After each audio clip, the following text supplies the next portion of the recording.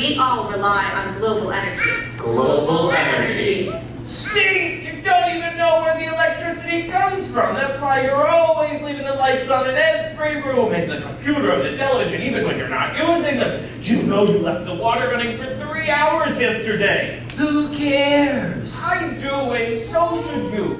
John, John Bungalow doesn't care about the earth, and it really shows. Why are you all singing? Then in science class we learned about all renewable energy resources.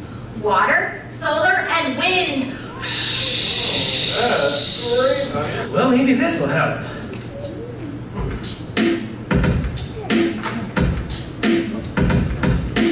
I'm the Carbon Genie, and I'm here to say you're gonna save your energy every day.